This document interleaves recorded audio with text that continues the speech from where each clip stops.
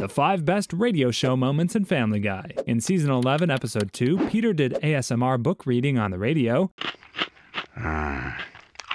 In season 17, episode 11, we saw Stewie refusing to redo the story. Can we do that again? Maybe a little more energy? Uh, no? In season 8, episode 6, Peter made fun of British radio. The Cointon Spinky Wampers flumped the Flowing Boing Welfenclompers. In season 6, episode 1, during the Star Wars episode, Peter did a show called Han Solo, where he helped people with their relationships. In season 5, episode 2, we saw Stewie prank call Brian while he was hosting a radio show.